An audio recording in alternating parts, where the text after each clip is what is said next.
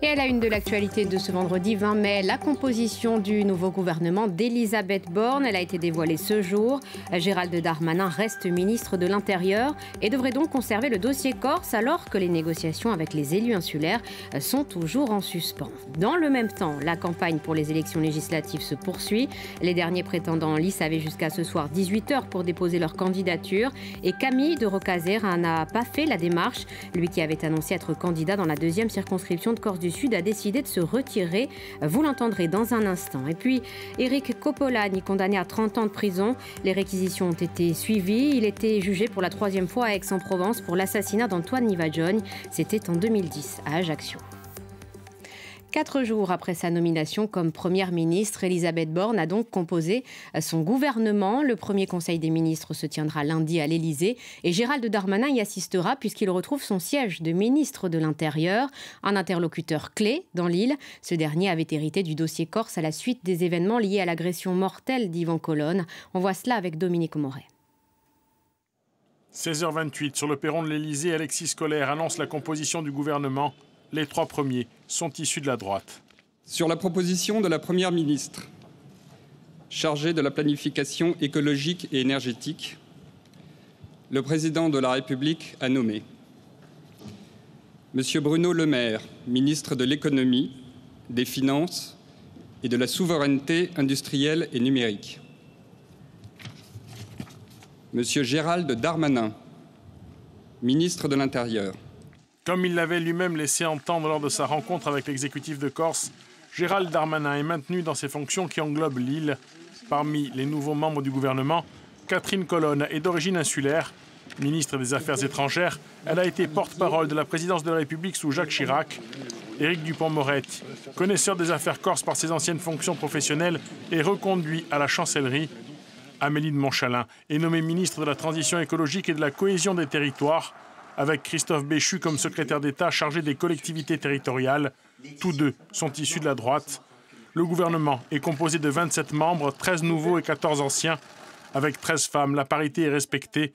Dans l'ensemble, il y a peu de surprises, si ce n'est pas Ndiaye, nommé à l'éducation nationale, ou encore Damien Abad, ministre des Solidarités, de l'Autonomie et des Personnes handicapées. Le prochain grand rendez-vous politique se tiendra les 12 et 19 juin prochains avec euh, les élections législatives, dernière ligne droite. Depuis 18h, il n'est plus possible de déposer de dossier de candidature en préfecture et vous pourrez retrouver la liste de tous les candidats sur notre site internet euh, corse.france3.fr. Et c'est dans ce contexte que Camille de Rocazer a annoncé aujourd'hui euh, qu'il ne se présenterait finalement pas dans la deuxième circonscription de Corse du Sud. Il a accordé un entretien à Dominique Moret. Regardez. Nous sommes avec Camille de qui avait annoncé sa candidature et qui finalement euh, ne la déposera pas. Camille de bonjour. Alors, qu'est-ce qui a fait que vous avez pris cette décision que beaucoup n'attendaient pas? Oui, bah écoutez, c'est une décision mûrement réfléchie. J'ai passé deux jours de réflexion après avoir constaté que certains de mes amis, entre guillemets, de ceux qui sont euh, représentants de collectivités, euh, considéraient que ma candidature ne pouvait pas s'imposer au deuxième tour que euh, ça risquait de diviser davantage et que donc euh, euh, c'était pour me protéger, en fin de compte, qu'il considérait qu'il valait mieux que je me retire. Alors j'ai bien réfléchi parce que pour moi une élection législative c'est pas une élection cantonale ni une élection intercommunale, c'est une élection pour proposer avec des convictions et des valeurs, pour proposer un projet, pour proposer une vision surtout cette année où nous aurons des discussions engagées avec le gouvernement de la République. Et moi, je suis prêt à travailler à ce niveau-là. Donc c'était ça qui m'intéressait. Euh, on connaît mes valeurs, on sait ce que j'ai fait par le passé comme parlementaire. Je pensais que c'était utile. Certains ont considéré que ça ne, ça ne suffisait pas, euh, ont eu un comportement de, cuisine électorale arithmétique, euh, alors que partout je suis passé, partout j'ai vu des, soutiens nouveaux qui arrivaient, qui étaient très intéressants parce que justement basé sur les convictions que je portais et la méthode de travail que je portais et les objectifs que je portais. En d'autres termes, il n'y a pas possibilité aujourd'hui de gagner à droite s'il y a deux candidats de poids parce que l'évolution de la circonscription est celle-là? Alors, je ne suis pas convaincu d'ailleurs que ça soit euh, mauvais. Euh, parce que euh, peut avoir des accords. D'ailleurs, je sais que Valérie Botz avait dit que si jamais elle me soutiendrait, c'est réciproque. je pense que surtout, à un moment donné, il y a eu, de la part de certains, je dis, une volonté de déstabiliser ma candidature sans savoir ce qui allait se passer. une campagne, pour gagner une élection, il faut faire campagne. Voilà, il faut des soutiens. Et en même temps, aujourd'hui, de plus en plus, on voit que les électrices et les électeurs dépassent le cadre des soutiens ou des, de ceux qui sont les intermédiaires de gérer dans ces élections. Aujourd'hui, vous soutenez Valérie Bodz. Qu'est-ce que vous avez en commun quand on sait que vous, vous vouliez siéger dans l'opposition et qu'elle-même souhaite siéger dans la majorité présidentielle? On a, euh, je dirais, un passé commun. On a euh, une histoire dans notre famille politique le RPR, l'UMP, LR.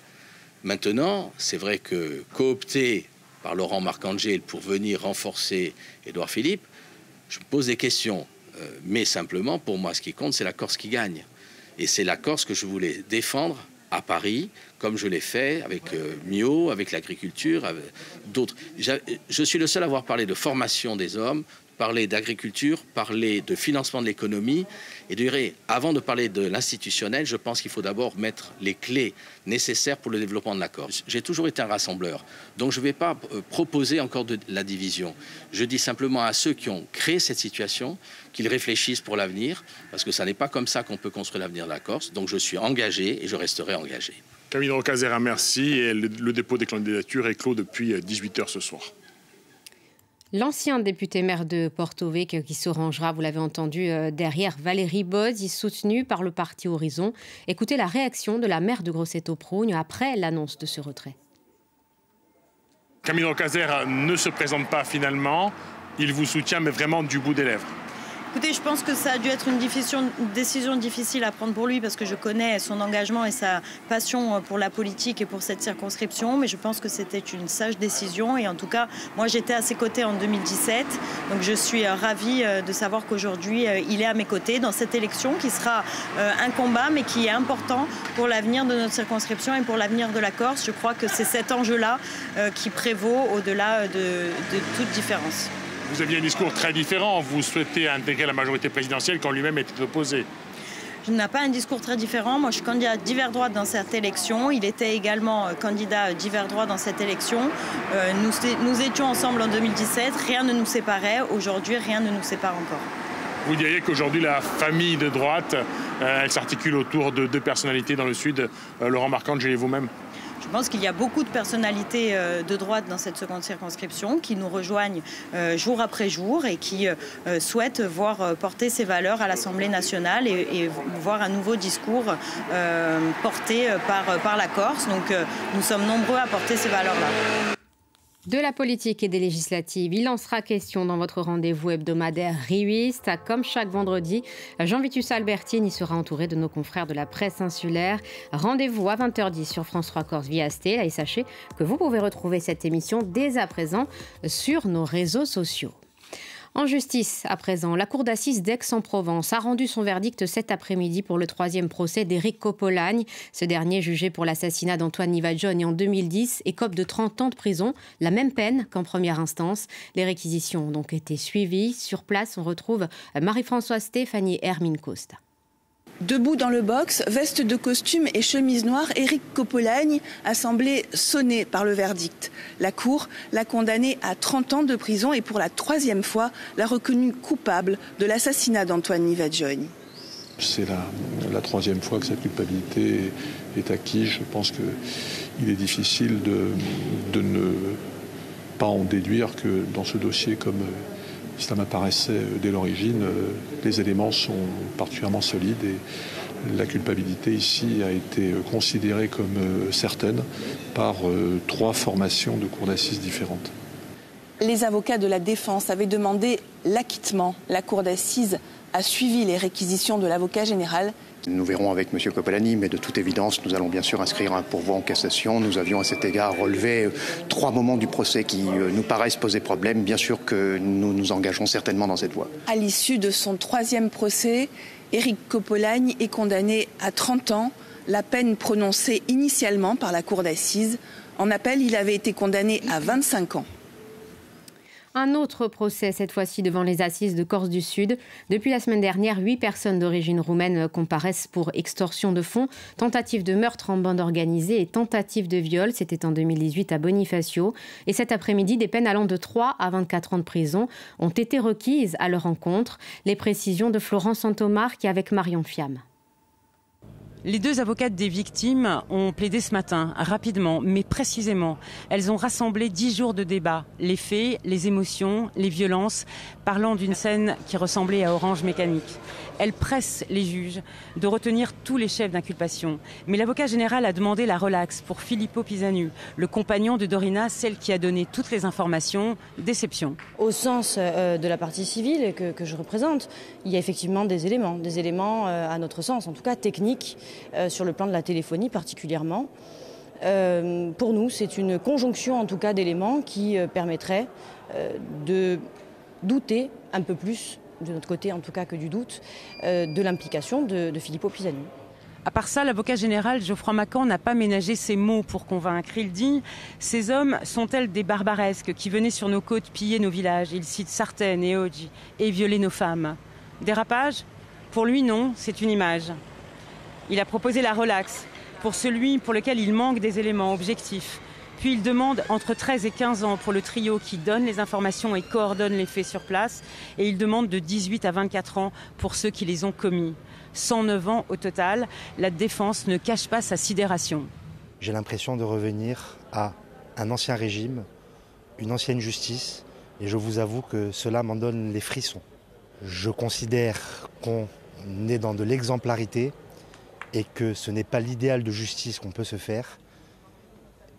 Et il va falloir quand même faire comprendre modestement du côté des avocats de la défense à la Cour qu'on ne peut pas juger un dossier en Corse de cette manière et dans un autre endroit de France d'une manière beaucoup plus légère.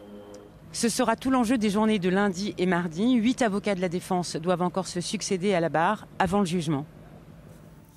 La suite de notre série de reportages consacrés au parc naturel régional de la Corse, 50 ans après sa création. On vous parlait hier du mythique sentier du GR20. Il est le plus prisé par les randonneurs. Pourtant, d'autres parcours ont été mis en place par le parc, comme le Mar et Amar, des itinéraires qui mériteraient d'être davantage valorisés selon les acteurs locaux. Voyez ce reportage de Solange Graziagne et Tiffaine Urtis-Verea. Cela fait deux fois que ce randonneur venu de Suisse emprunte le Mar et Amar Nord. Un itinéraire de 12 étapes qui traverse la Corse d'est en ouest, de Mauriagne en Costa Verde à Cargèse. Ce périple nécessite 9 à 11 jours de marche, mais il est accessible à tous avec une bonne condition physique. On peut le faire en famille, et puis surtout c'est magnifique de quitter une mer pour en retrouver une autre. C'est superbe de prendre le temps de, vivre et euh, de découvrir euh, les paysages de la Corse. Voilà, vous avez droit à un beau petit déjeuner. Dans cette aventure, les randonneurs sont épaulés par les gérants des gîtes d'étape. Patricia accueille les touristes depuis plusieurs années et a toujours le même plaisir à converser avec eux sur sa région. On regarde dans leurs yeux l'émerveillement de cette vallée, alors que nous, des fois, on n'y fait même plus attention, bien sûr, comme partout. Et cette région, elle, est, elle parle toute seule. Cet établissement appartient à la commune. Patricia le gère par le biais d'une délégation de service public sur six mois, de mai à octobre. Mais sur le parcours en basse saison, certains gîtes au statut privé restent fermés. C'est pas quelque chose qui rapporte encore beaucoup, donc il y a beaucoup de personnes qui, doivent avoir une autre activité pour euh, pouvoir tenir, bien sûr. C'est un complément, parce qu'il n'y a pas assez de fréquentation de randonnée sur le Marin-Mars. Une situation inconfortable pour les randonneurs comme David, qui souhaite réaliser le sentier dans son intégralité. Là, vous avez une superbe vue hein, sur le couvent, notre couvent hein, qui est là. Un bijou du patrimoine qui reste en dehors du mar et amar. Pourtant, ce couvent franciscain construit au XIIIe siècle a servi de cadre à la proclamation de la royauté de Théodore de Nehoff en 1736. Le maire souhaite ajouter une boucle à cette randonnée pour sortir cet édifice de l'oubli. C'est quand même quelque chose d'assez incompréhensible, hein, parce que c'est vraiment le joyau, c'est vraiment le, le, centre de regroupement de toute la population de la Lésagne. Et notre envie, c'est que tout le monde connaisse ce lieu. Les élus locaux aiment le souligner. Le parc naturel régional de la Corse doit aussi promouvoir les territoires ruraux. Alors les attentes sont nombreuses, comme un meilleur entretien du sentier. Régulièrement, les intempéries, les cochons sauvages et les sangliers endommagent le parcours. À Mauriagne, les responsables du tourisme souhaitent épauler le parc dans ses différentes fonctions.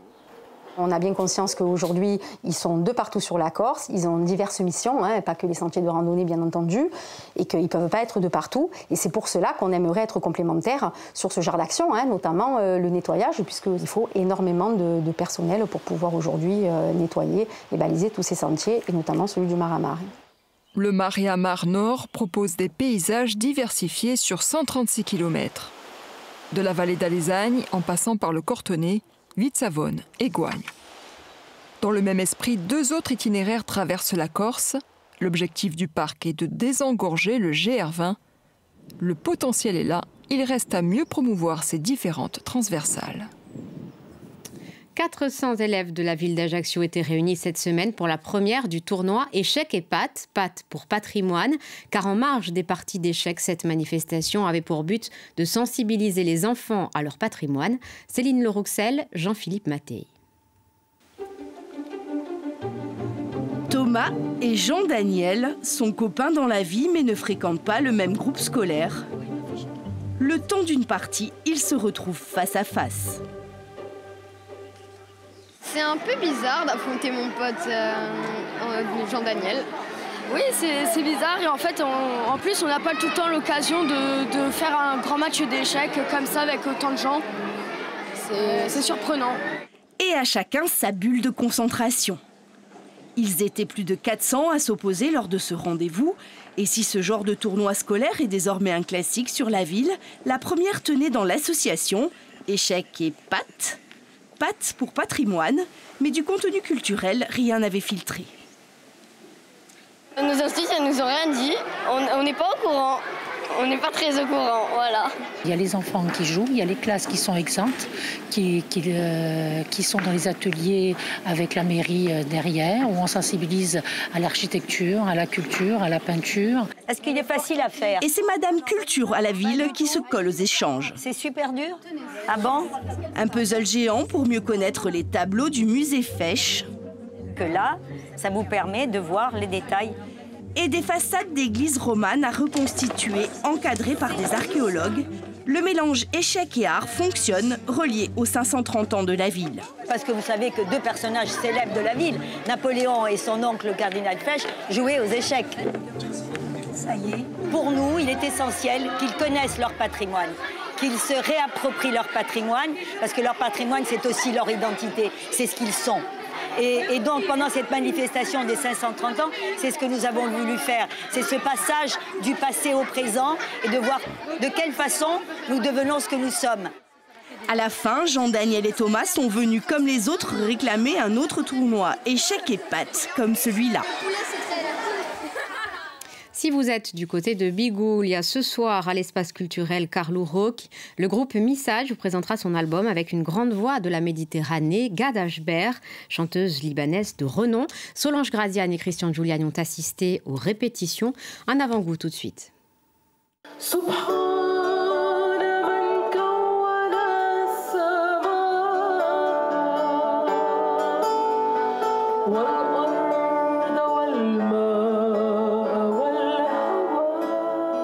Sa voix, quand elle chante, on dirait qu'elle peint. Voilà, comme si c'était un artiste qui peignait. C'est vraiment du velours. Elle n'a pas besoin d'un instrument pour être sublimée. Elle est déjà euh, sublimée.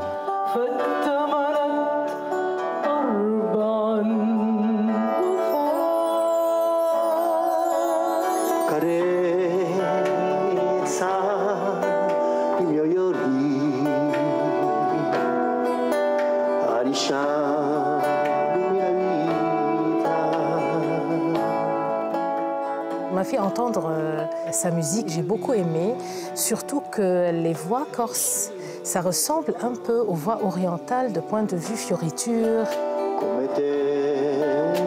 Alors j'ai senti qu'il y a quelque chose qui est plus ou moins qui rappelle euh, à mon pays, au Liban.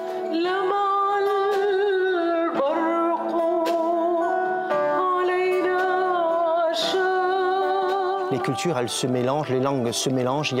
La, musique est universelle et la culture est universelle. Voilà le message que nous voudrions faire passer.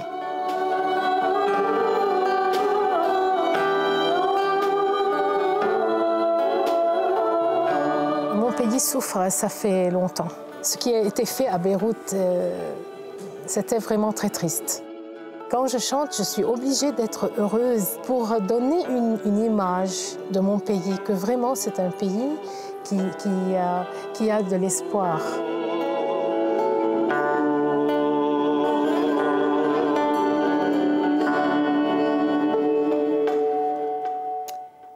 C'est sur ces quelques notes de musique que s'achève votre Corsica Azer. Merci beaucoup de l'avoir suivi. Dans un instant, l'actualité nationale et internationale avec à la une ce soir la composition du nouveau gouvernement d'Elisabeth Borne.